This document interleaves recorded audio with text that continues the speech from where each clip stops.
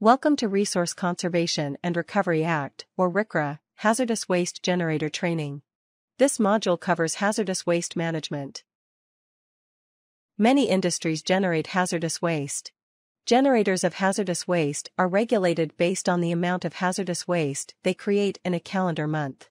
It is not based on the size of their business or facility.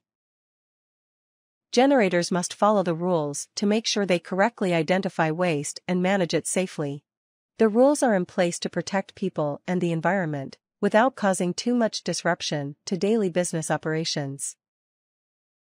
This training is designed to help you determine which hazardous waste category applies to you and how to properly manage waste. After completing this training, you will be able to determine a hazardous waste generator's category. Describe how to notify the Environmental Protection Agency, or EPA, of hazardous waste activity, and explain how to contain, manage, and dispose of hazardous waste, and describe land disposal restrictions.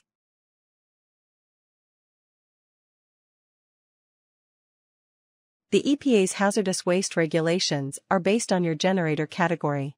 They are determined by how much hazardous waste you generate each month. The more waste you generate, the more regulated you are. You must count all hazardous waste you generate towards your monthly totals. This includes acutely hazardous waste. It is more hazardous than others and can be dangerous for humans.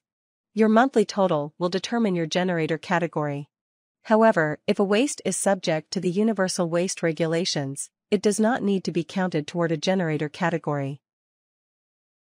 The regulations define three distinct hazardous waste generator categories.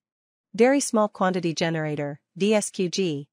Small Quantity Generator, SQG. Large Quantity Generator, LQG. Very Small Quantity Generators, or VSQGs, generate the least amount of waste and are the least regulated.